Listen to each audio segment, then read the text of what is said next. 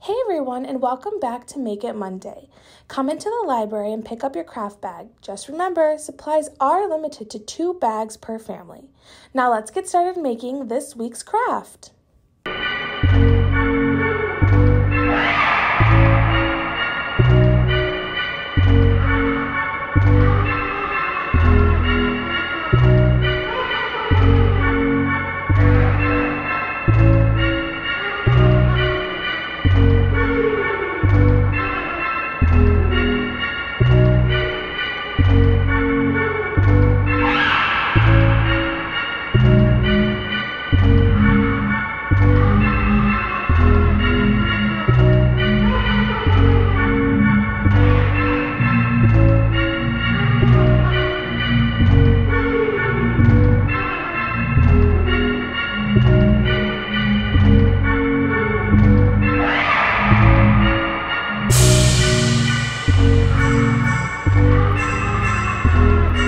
Thank you for watching.